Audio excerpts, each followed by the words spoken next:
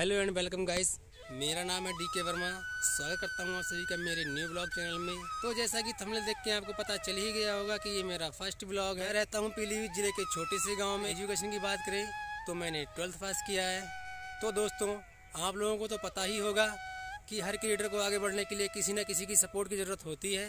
मैं पिछले कई महीनों से लगातार कोशिश कर रहा हूँ, लगातार मेहनत कर रहा हूँ, लेकिन अभी तक कोई शख्सियत नहीं मिली है। तो मैं उम्मीद करता हूँ कि आप लोग मुझे सपोर्ट ज़रूर करेंगे। तो मैं उम्मीद करता हूँ कि आज के ब्लॉग में आप लोगों का सपोर्ट मुझे ज़रूर मिलेगा।